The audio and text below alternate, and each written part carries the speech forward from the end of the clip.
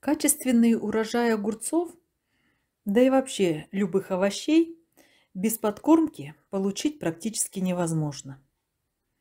Если же вы не отдаете предпочтение различным химикатам, можно самому сделать простейшую натуральную подкормку. Для этого нам нужна крапива.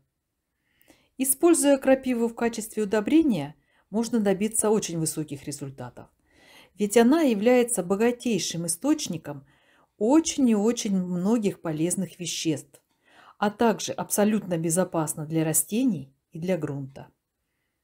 Готовится подкормка очень просто. Берем пластиковую бочку или ведро, на треть заполняем измельченной крапивой. Срывать ее нужно до того, как она начнет цвести.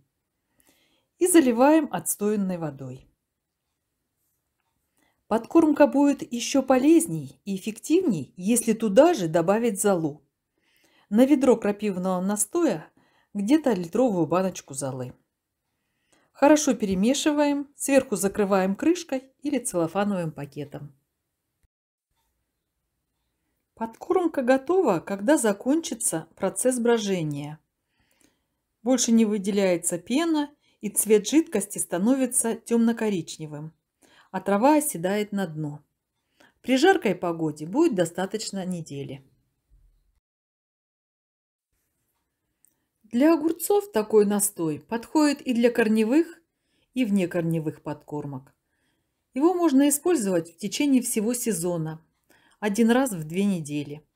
На ведро воды берем литр настоя. Это абсолютно бесплатное, безвредное и достаточно эффективное удобрение.